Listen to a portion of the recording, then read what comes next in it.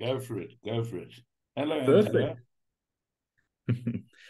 so, everyone, as you know, um, we are Journey Beyond.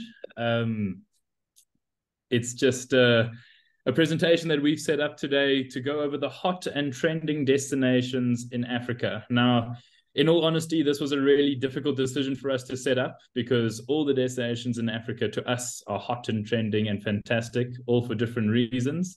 My dad always says, and I don't have children, but my dad always says, if you try and choose your favorite child, you understand what it's like choosing your favorite destination in Africa. Um, you love them all the same, just differently.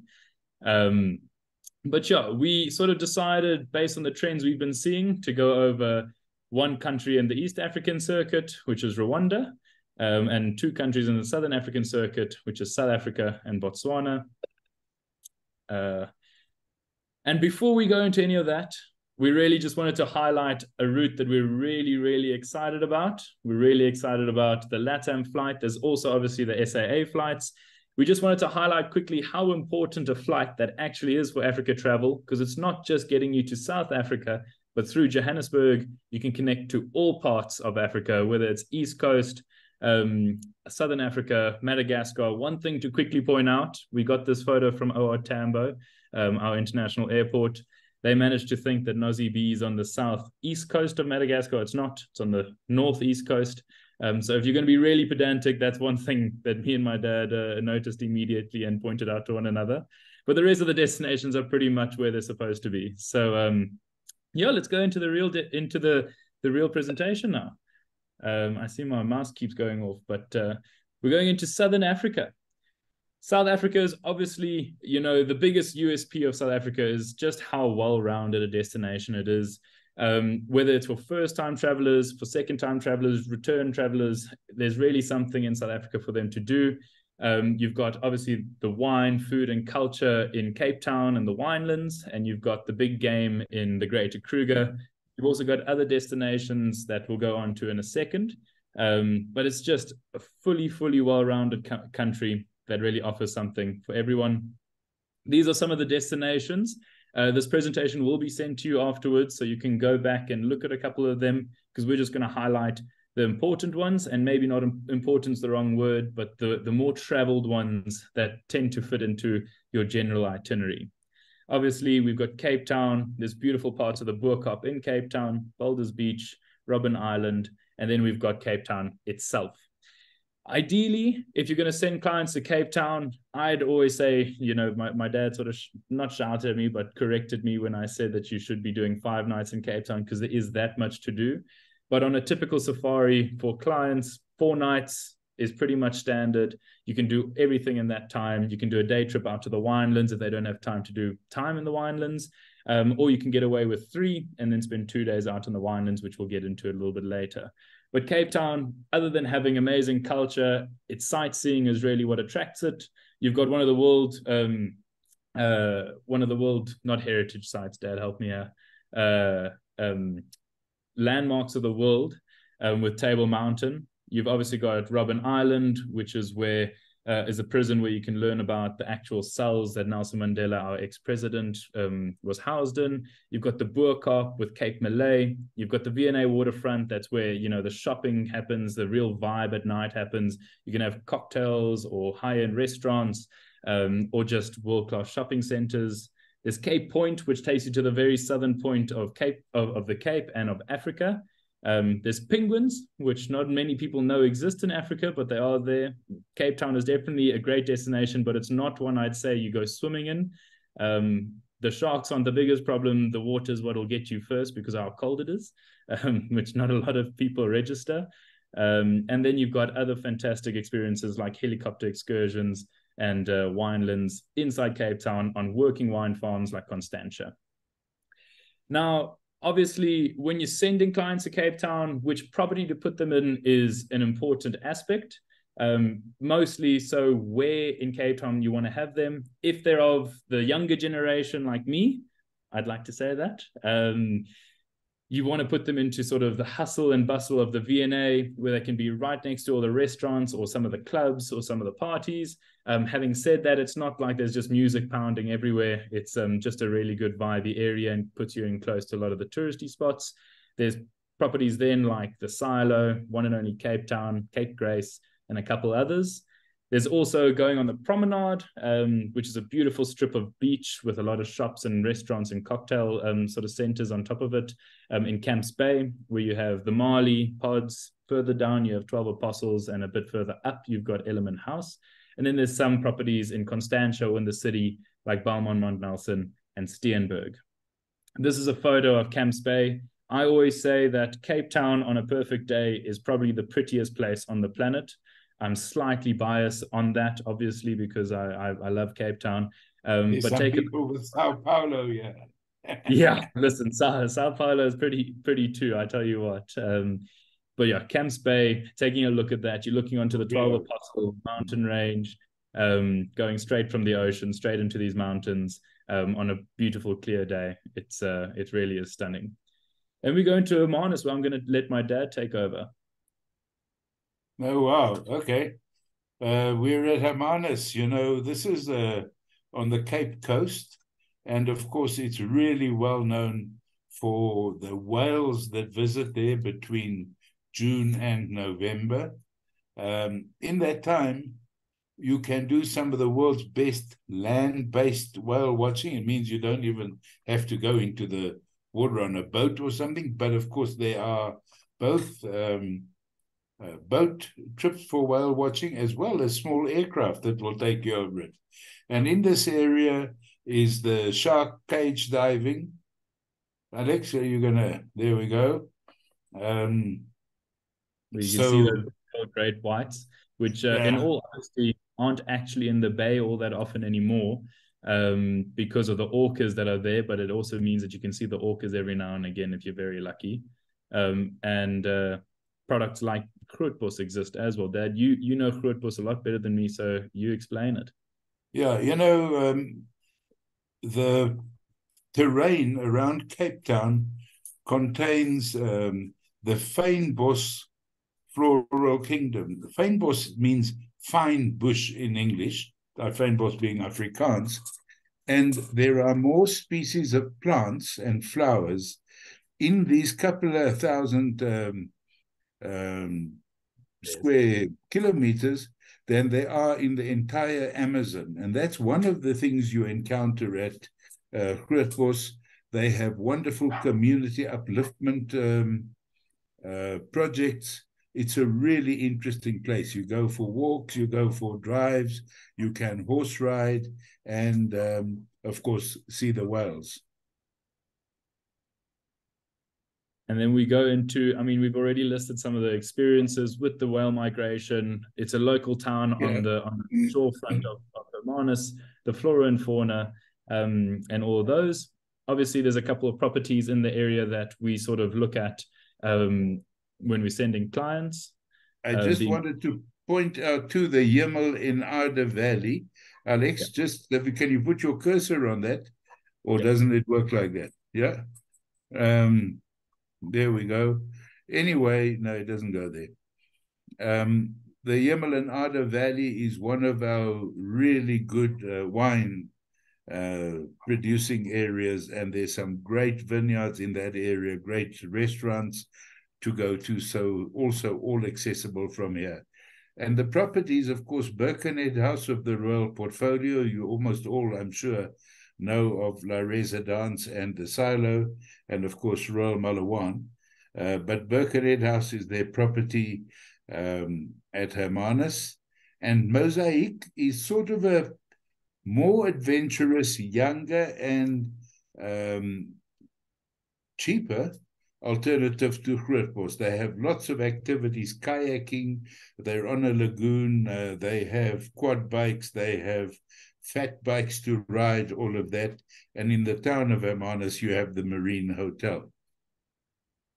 Yeah, and then um, we obviously go another area in that Cape Cape sort of area is the winelands.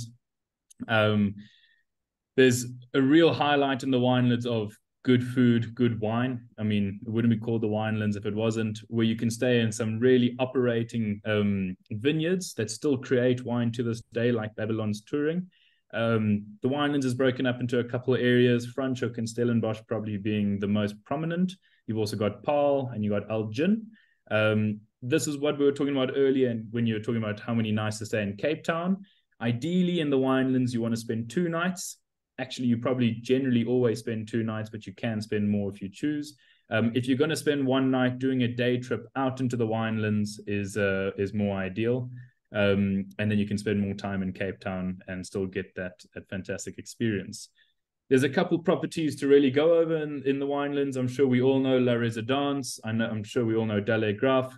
There's Leeu Estates, Leeu House. There's Babylonstoren, and there's uh, um, which leads us into the first part of why most people come to Africa and a place we really want to highlight um, for game viewing, which is the Kalahari. Obviously, the Kalahari is a beautiful desert-like area. It's more similar to Namibia or the Kalahari in Botswana in that sense, um, but it's obviously in South Africa. It's obvious. It's it's a four big four area because it has no elephants, and generally we tend to steer away from big four areas because most people come to Africa for their one trip to see the big five. Now, Tswalu and the Kalahari is a little bit different in that sense because you're almost always going to be coupling up Tswalu with a greater Kruger national camp, um, just because of how it sort of works in that sense. Um, sorry, Pa, are you there?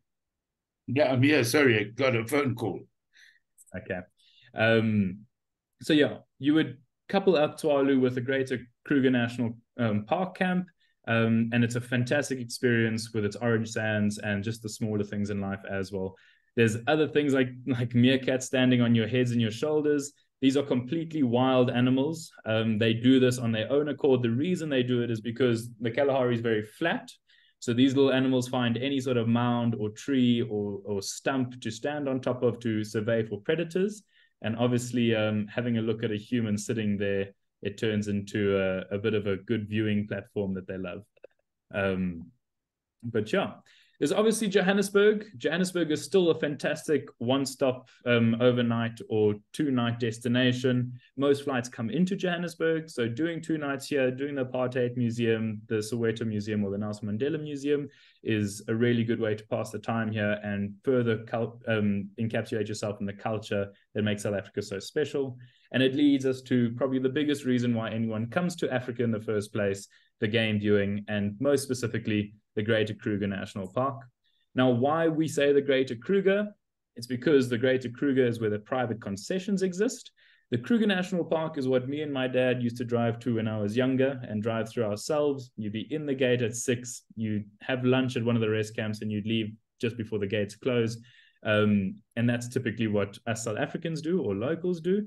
Whereas in the Greater Kruger National Park, they're private parks with private reserves with private ownership where you can drive off road up to the animals. You can do walking safaris, fishing um, excursions. Um, you can do night drives, and there's just different rules in the Greater Kruger, which is why you should really put your clients in there so they have the fullest experience.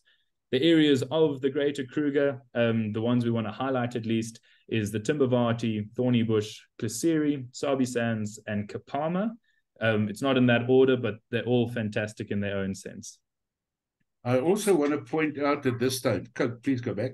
Um, you see on this map the Kruger National Park, and you see Skukuza Airport, Kruger Mpumalanga International Airport, and Hoedspruit Airport. That's the one you all know as HDS. And when, uh, for a very long time, you only had South African Airways flying into Sao Paulo, um, as the way to get here before LATAM days, um, they would always sell people an onward flight on SA Express to Hoedspruit. Well, SA Express is gone, and um, uh, Airlink and CemAir now fly there, but you don't have to sell them to Hoedspruit. Look at Skukuza, that's right at the Sabi Sand um, down there. And the safari uh, lodges like Lion Sands, uh, Mala Mala, Sabi Sabi, and those will fetch the clients at Skukuza Airport and drive them to their safari lodge. You don't have to have a different uh, flight or a different road transfer.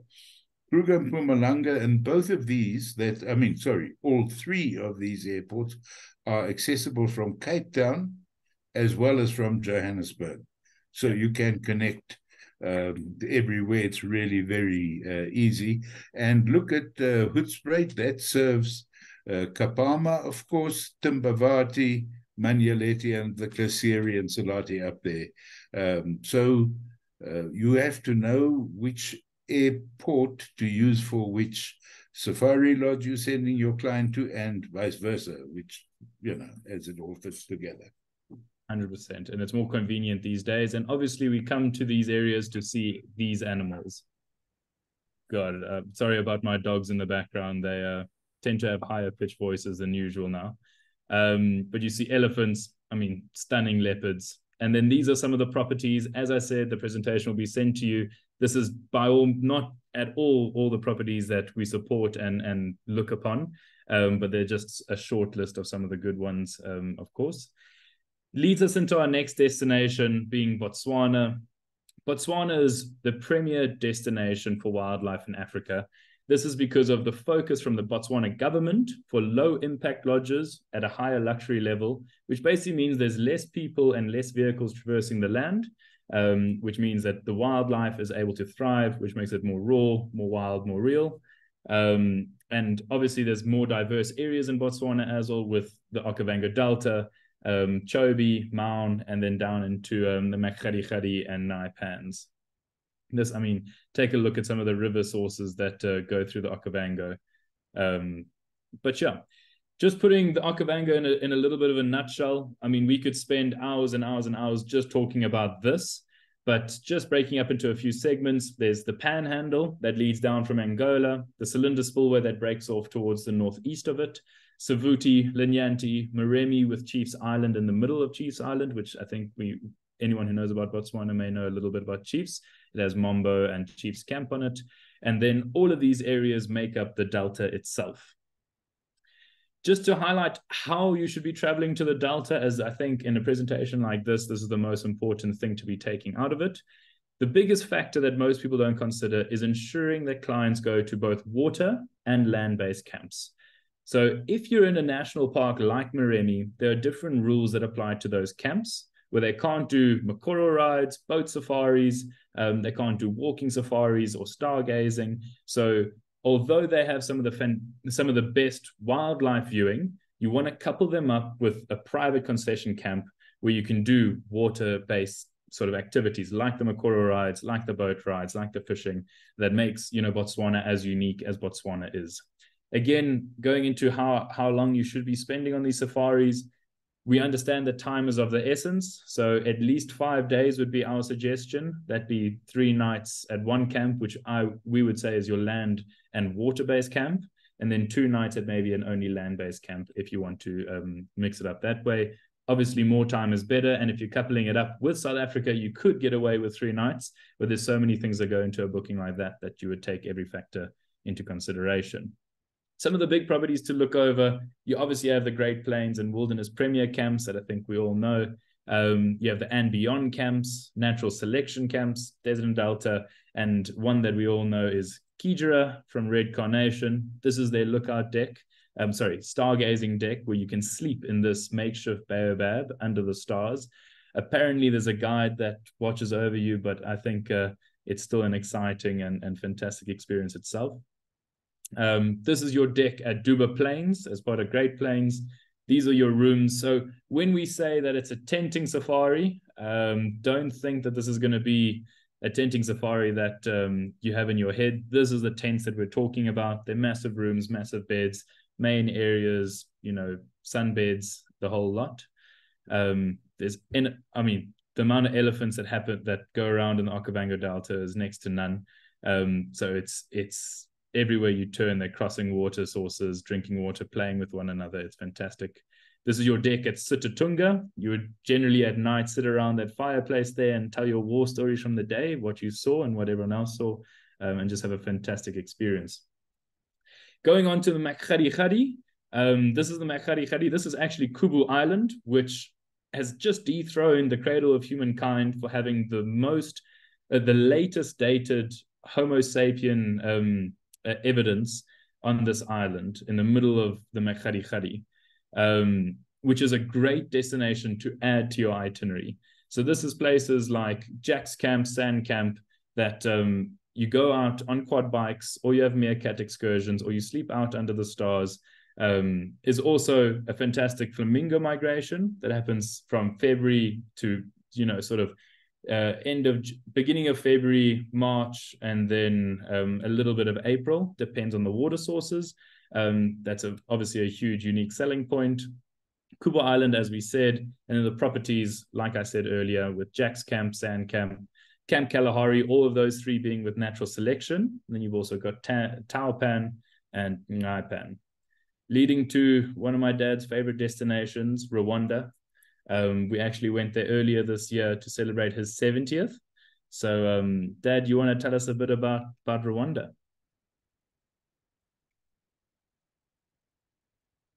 Uh, Dad, I think you're muted. Sorry for that. Um, I was trying to stop my dogs barking, getting to you. all. Um, Kigali and Rwanda is surely the, the modern miracle of Africa. It has zero unemployment. There is not one piece of litter or rubbish that you can find in this country. It's the only country in the world where, on a, the last Saturday of every month, everybody from the president down to the lowest citizen gets out into the street and cleans up the country. Um, I think all of us could do with a bit of that happening uh, around our own places.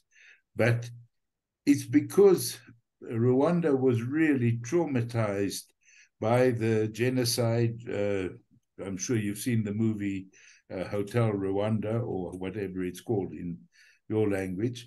Um, and one of the things we do is take people to the Genocide Museum, the Parliamentary Museum, which is where it all kicked off. Uh, and of course, there's wonderful arts and culture, um, a really interesting, bustling little city. Um, and then from here, you go up to the uh, different areas. Alex, where's that? Yeah the most important uh, aspect is the Volcanoes National Park and the visiting with the gorillas. Now, this has been going on for quite a long time. And of course, it's been going on in Uganda as well. But what happened is about five, six years ago, um, some really top quality products were built here, firstly by Wilderness at Bisate, and uh, there had been Sabinyo of governors' uh, camps before, um, and then came uh, Singita Kwitonda and eventually one and only uh, Gorilla's Nest. These are genuine five star deluxe, you know, top end properties and um, can stand next to anything you can think of in a hotel quality somewhere. So, um, this is Singita Kwitonda. It also has a four bedroom uh, villa called Kataza House. It's it even has its own um, uh, cinema uh, yeah. inside. It's a really stunning property with its own chef, butler, everything else. But at the end of the day, you still got to get out there into the forest and do your hiking. So um, that's Singita. And uh, next is um, Bisate. No, that's uh, actually one and only. Um, the one and only uh, is a really good property. Uh, I would just say it's more of a resort um, property than either Bisate or um, uh, Singita Kwitonda is. They are more uh, fitting in. And look at this for Bisate. Um, the architect who we know who did this really created like gorillas uh, nests in the forest. And there's only six of them so it's exclusive. You have a guide uh, and he drives you up here and he's with you and takes care of you the whole time. Or you can fly up by helicopter or back by helicopter and you can join uh, volcanoes, which, by the way, I'm sure you all know, it's fifteen hundred dollars for a um, uh, gorilla trek. Uh, there's also the golden monkey here to go and trek for, and of course it's uh, the the place of Diana Fossey where she did her research, and Ellen De- DeGeneres, the American TV star lady, has uh, funded a big uh, museum complex in her honor, and where they do research on the uh, on the gorillas. Uh, and just, just a, a, an important fact um, about Bisate as well that may sometimes um, be taken into consideration for clients that have less time when they're traveling. They have a day room facility that's free of charge to the guests that they can do a trek on the morning, return back, even if they had to have been checked out, type of thing. Um, have a nice shower, be able to change their clothes, have a good lunch, cooked by the wilderness team, which is obviously always at the highest standard, um, before getting picked up for their transfer if they have a late night flight flying out at 10, 11 p.m. type of thing out of Kigali. So that's just another really important thing yeah. to remember about the Yeah. And I wanted to say the driving time between Kigali and um, volcanoes is two and a half hours. To drive to Nyungwe is five hours. Uh, so maybe more motivation for the helicopter on that. But there and are fascinating things to see en route, believe me. They are, and that's a good point, Dad, about um about the helicopter flight time because it's actually the same amount of time to fly via helicopter to Kigali from Kigali to volcanoes as it is from Kigali to Nyungwe, um, around 40, 45 minutes um, if you're on the, the sort of conservative side. The reason it takes five hours to get out to Nyungwe is because of how windy the roads are up the mountains. But like you said, for some people that just want to experience the whole country, that's a fantastic viewing opportunity, and you see a lot of the country in that. Um, yeah, and I want to add that uh, the roads in uh, Rwanda are excellent. They tar roads. Um, they not. You mustn't think of it like Africa in Botswana. Oh my God, um, you know it's not like that at all. Um, it's just it's very hilly, uh, and they you can't go that fast. So um, winding. If you get stuck behind a truck, we'll tell you firsthand. It uh, you go at the truck's pace. It's uh, there's no e- real easy way to get around them, so you just sit there and, and go. Um, and the property to use here, of course, is one and only Nyungwe House. Um, they offer you can do um, the chimpanzee experience. They have a very high walkway in the canopies of the trees, which is beautiful. And then there's a, it's a tea plantation area. So you have the beautiful tea plantations, but you also do tastings and experience the African tea concept. 100%. It also leads us into Akagera. Um, this is the big five national park in Rwanda that's sometimes lesser known um, to people who are selling Rwanda. Um, in all honesty, there are fantastic options in Kenya and Tanzania that are an easy flight and an easy connection away. And the big five viewing in Akagera is maybe not yet at the standard of Kenya and Tanzania. So if your clients entire goal is to see the big five or see a lot of animals, it may be best to try and couple it up with Kenya or Tanzania rather than putting them in Akagera. But if they're trying to experience the whole country, it's still a great option. You've got properties like Magashi by Wilderness. You've also got a Mantis property of Akagera. Um, and again, it's two hours drive from Kigali, um, which makes it uh, easily accessible. In all honesty, it's it's currently supported by African Parks, which needs a little bit of help in that sense, um, and they need a bit of funding and they need a bit of uh, a bit of love. Whilst we uh, have a little bit of time, there's also a few other destinations to consider. If we were to go over all the destinations, we definitely would have um, run out of time. Um, so just a little crash course about all of these. We go into um, Kenya, as mentioned now, is a fantastic, fantastic game viewing destination. You've got the Great Migration that happens there with the river crossings. Um, you've got Amboseli National Park with the big tuskers. If you know anything about Amboseli and you know the name Craig, um, it's one of the big tusker elephants that are famous over there. You've got Nairobi, which is now artisanal. It's coffee. Its coffee is really taken off. Everyone knows Kenya for coffee as well. um, and its other biggest export, which is roses. Um, and of course, you've got the Maasai experience with the Maasai warriors, where if you're like me, you'll go jump with them and uh, hopefully win a, a, a, lady's hand in marriage. Um, there's also Tanzania, which is its southern cousin. Um, obviously, in Tanzania, there's the Grumeti Sorry, Reserve. Alex. Yes. We we have a question here. Um, sure. What is the minimum height for gorillas trekking? Ooh, no, it's no, not height, no, it's age. Yeah, there's no minimum height, there's minimum age, and that's 15. So you have to be older than 15 years old to go on the the gorilla trek. Um, yeah, but they they definitely don't discriminate to height. um, yeah, and I, know why. By, it's by age. It's minimum yeah, is okay. By age. And I have tried several times in my life to beat that for people with more money than you can think of, and you cannot beat it. Okay, it doesn't happen. Right, and right.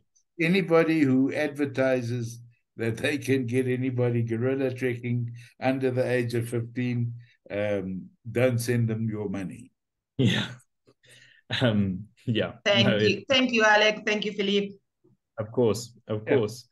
Um, then we've got Tanzania, which also has the Great Migration in it. Um, you've got Ngorongoro Crater towards the south southeast. There's obviously um, Serengeti National Park, um, the Lamai Triangle, and like I said earlier, the Grumeti Reserves by Singita that I think we all know. Um, it's also just actually like Kenya and Rwanda for that matter, really easy to couple up with Zanzibar. There's also direct flights out of South Africa. So Zanzibar is a beach destination for post safari, is a good destination to link up with along the Seychelles, um, Mauritius, Madagascar, the, the lot of them. Um, and finally, the one that's at the very top of my bucket list, because um, my dad speaks so highly of it, um, is Namibia.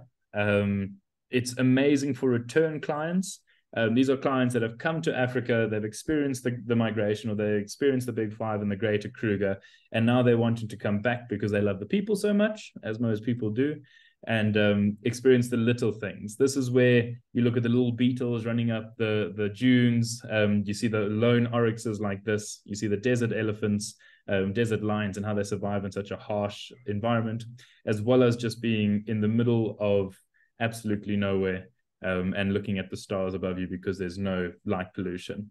There's also the Himba tribe, um, which is a fantastic, fantastic experience.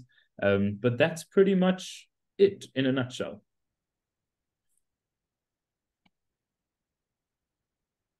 Yeah. Anybody out there? Yes, I was I was waiting for Julieta to see if she was going to talk. no, she's no, going to was... have a little lie down. no, but it was really amazing. I think there's so much to explore in in, in the Africa continent. Yeah, no, you know, sure. I sure. think I think the big thing, Paula, is it is so hard to um, give time to enough of each thing because people will say, oh no, but I don't need to know that much about this, which of course they do actually. Um, and people want to get a broad overview and understanding of that.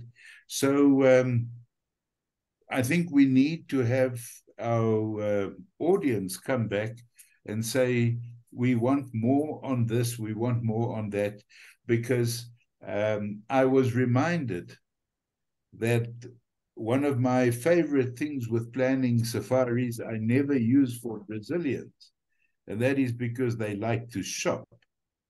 So we should always have the shopping experience at the end because they don't want to slip the luggage and the goods and everything with them. Plus, lots of times when you're visiting safari lodges, whether it's in South Africa or Botswana or anywhere, there's luggage restrictions um, that um, um, you um, you need to be at this uh, the thing at the end, uh, the shopping area at the end. So normally I plan that people finish with the safari because that's the highlight, like a opera or like a book or whatever. You know, it's the the end of the story that really matters. Um, but you must remember that they don't want to schlep all that stuff with them, and you should really have the safari first then. I think if Brazilians. And, yeah, that I have never ever in my life heard of that short person can't go. Um, yeah, I, I, you, I want to I want to just ask the the participant. Um, did uh, did somebody really say that for you? Do you know somebody short that tried to go?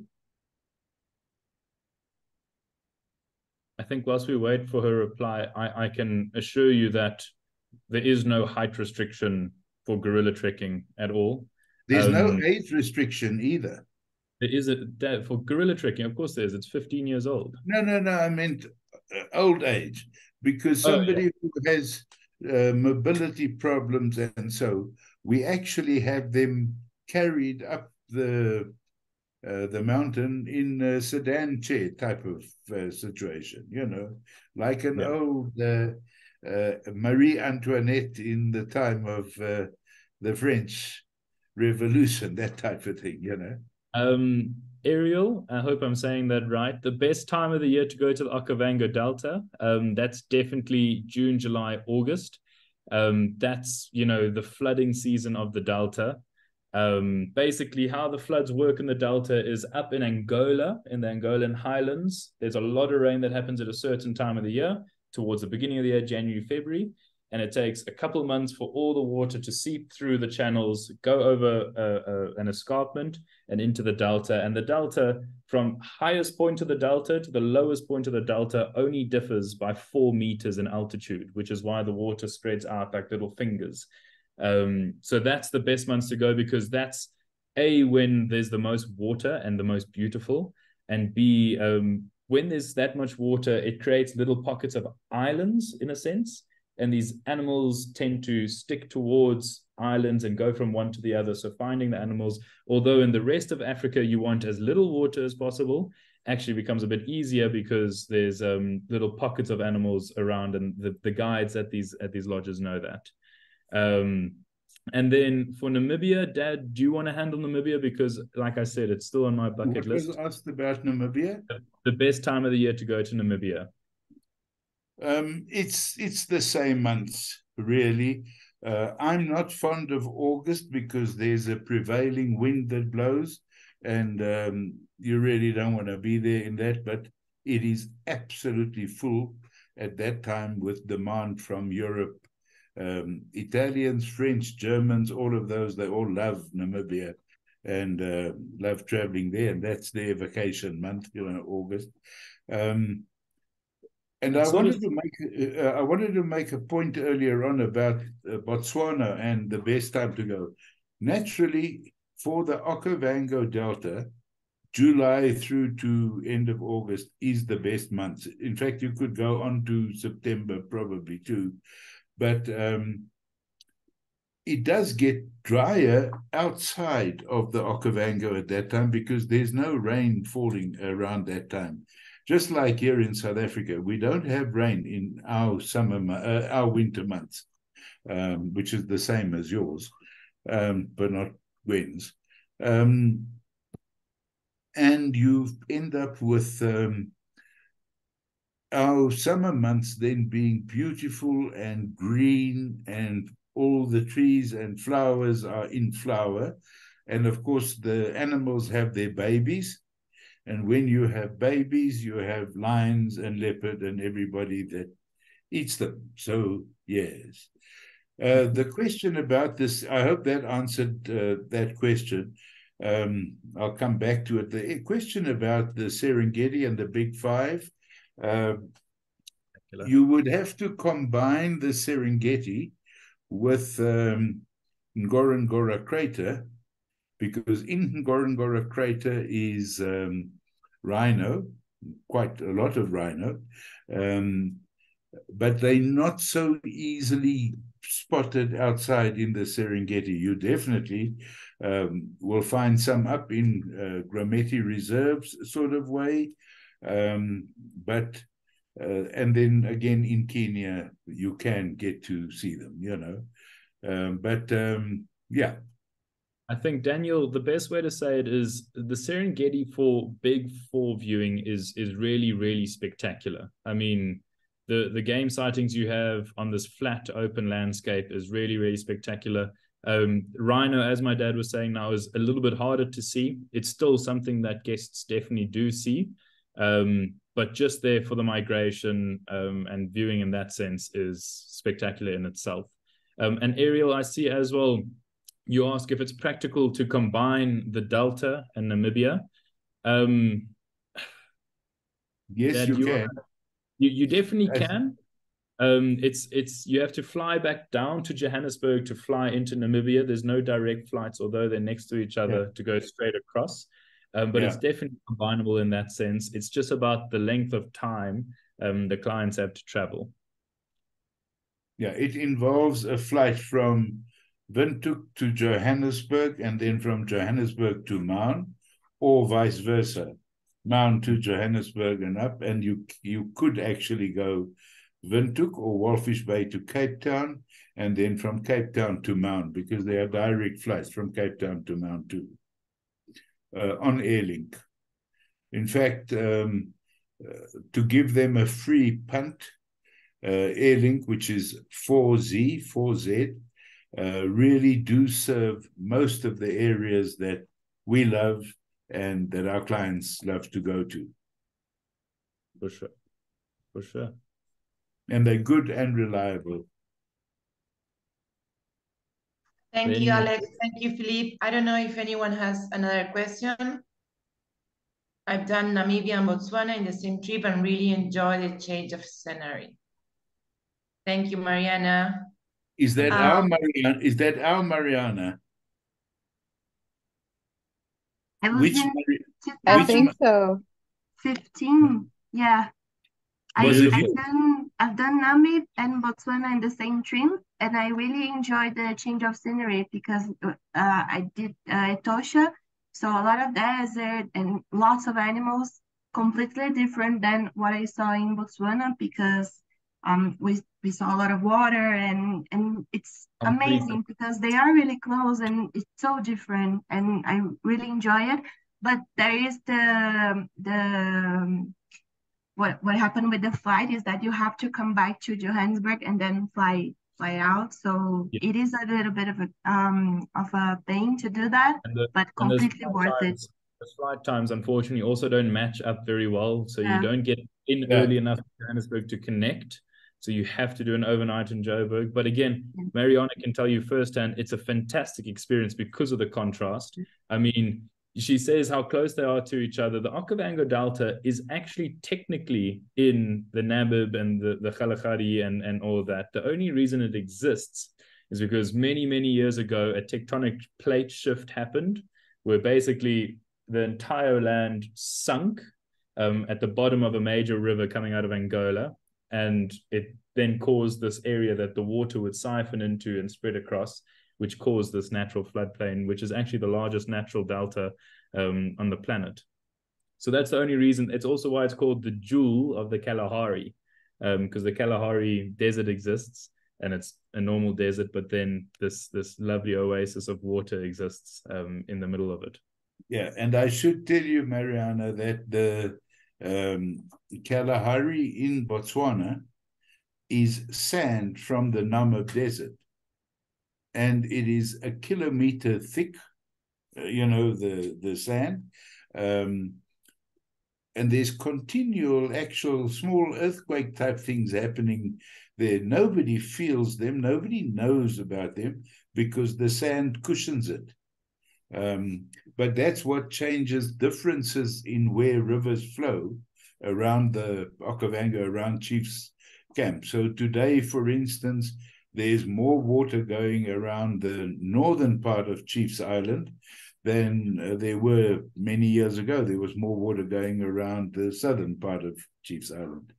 But, hope, Ma- but Mariana is 100% correct.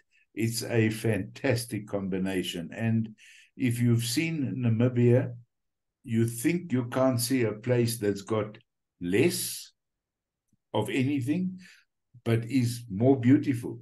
You know, it's uh, it's really the harshness, the starkness, um, really is fantastic. And then you get to the Okavango, and everything is green and lush and and soft, sort of thing. You know. I think yeah. I hope I hope this little chat at the end here also sort of proves to everyone that's watching that we really could spend hours and hours and hours talking about every one of these destinations in particular. So I'm going to ask everyone that's watching to speak to the TL team and to us if you want to send an email to us.